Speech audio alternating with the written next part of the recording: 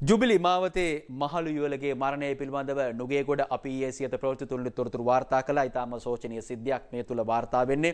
ජුබිලි මාවතේ මහලු යුවලගේ මරණය සම්බන්ධයෙන් දිනමින පුවත්පත තොරතුරු වාර්තා කරලා තියෙනවා. මා ඒ පුවත්පතේ තොරතුරු වෙත යන්නට සූදානම් හද කම්පිත කරන සිද්ධියක්. මිරිහාන පොලිස් සසමේ නුගේගොඩ ජුබිලි මාවත ප්‍රදේශයේ නිවසක ජීවත් වූ වයවෘද්ධ විවාහක යුවලක් අභිරහස් අන්දමින් මියගොස් ඇති බවට ප්‍රදේශවාසීන් ලත් තොරතුරක් මත මිරිහාන මූලස්ථාන පොලිසිය මේ සම්බන්ධයෙන් පරීක්ෂණ සිදු කළා.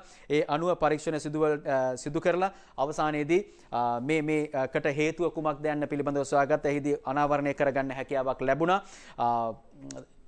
මේ මේ පුද්ගලයාගේ ඇතර වයවෘද්ධ මේ කාන්තාවගේ වයස ගත්තොත් එහෙම අවුරුදු 77ක් ඒ වගේම එතුමියගේ සැමියාගේ වයස අවුරුදු 79ක්.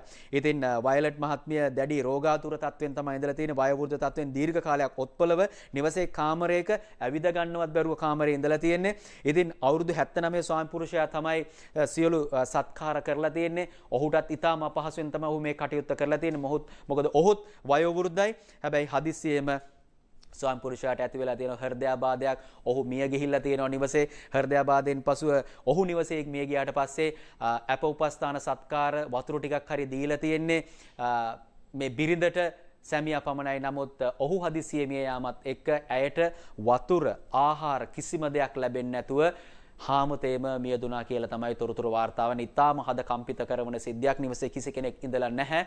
ඉතින් සැමියා මිය යන නිසා ඇවිද ගන්නත් බැරි නිසා වතුර වීදුරුවක්වත් වතුර උගුරක්වත් නැතුව ආහාරයක් නැතුව ඇය මිය ගිහිල්ලා තියෙනවා. දින කිහිපයකට පස්සේ තමයි සොයා ගන්න පුළුවන්කම ලැබුණේ. ප්‍රදේශවාසීන්ගේ තොරතුරකට අනුව